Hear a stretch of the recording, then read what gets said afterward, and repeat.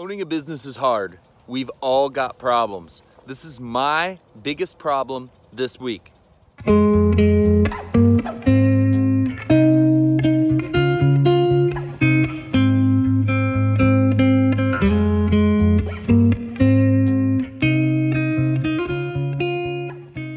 right, we're gonna get right into it. Before we do, like, subscribe, share this. The more likes we get, the more people that get this information. And I wanna share everything bad and everything good that's happening with everyone.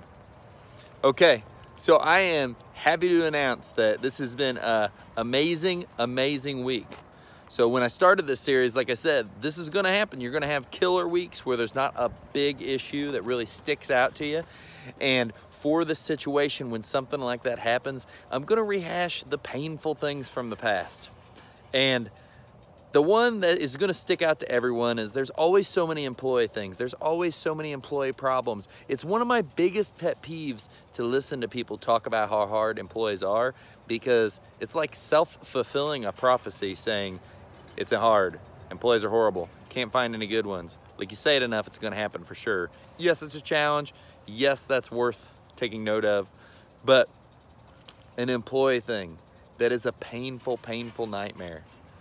The hardest, hardest of, one of the hardest employee things to have happen is having someone, having a rock star guy that's out in the field just kicking butt for you, knocking it out. You've got him out on your big jobs. You've got him out on your small jobs. You're moving him up as fast as you can because he's really just taking it on. You're proud of the work he's doing and you really think that he's gonna be the one. You've got him out on a big job. He's just kicking butt. And this big job, you're like halfway through and he's gone. That's the biggest problem. One of the biggest painful problems I have had when I was in the middle of it, I thought it was a tragedy. It's happened in different areas of the business several times. And it's gonna happen to you.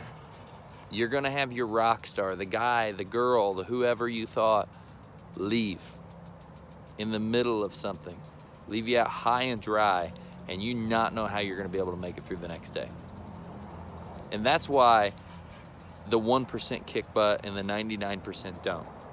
Because the 99% have this issue and they give up. They move on. And it beats them down and breaks them down. And the 1% says, yeah, I'll stand back up. Let's do it again. So that was the biggest problem. Last year, some at some point, there was one serious uh, person that left and um, you know, this is, happens every year. Something crazy like that happens. Someone you think that is a rock star and they leave you and it causes serious, serious pain. It disrupts a job.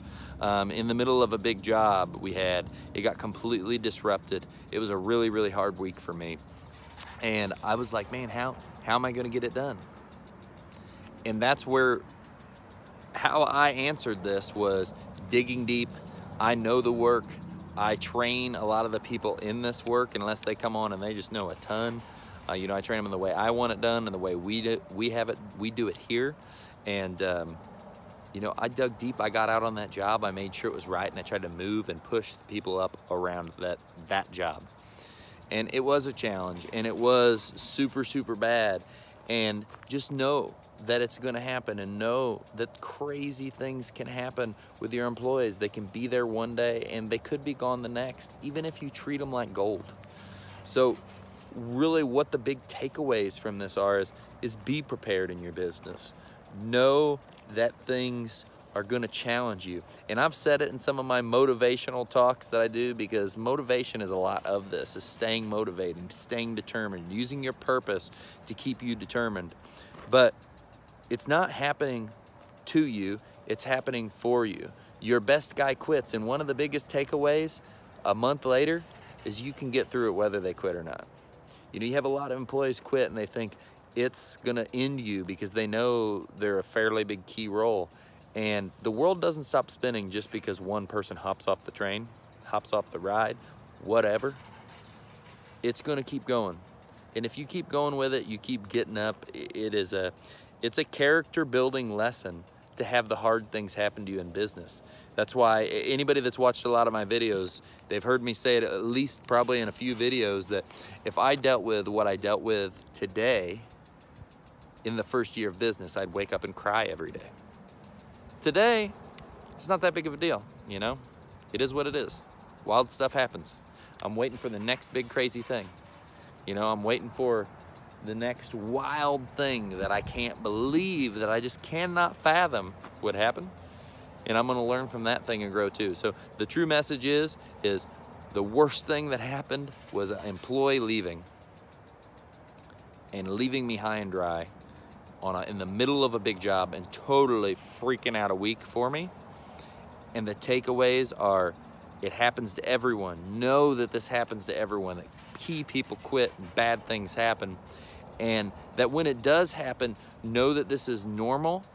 It doesn't matter what you do, things like this are gonna happen, and that this is a growing moment. This is gonna make you dig deep and figure out how to make it work anyway. And uh, entrepreneurs and people running businesses are just people that are good at solving problems. We solve problems, we get paid for them. We solve customers' problems, we get paid for them. We solve their water issue, we solve their retaining wall issue, we solve their landscape, the look of their house issue and we get paid.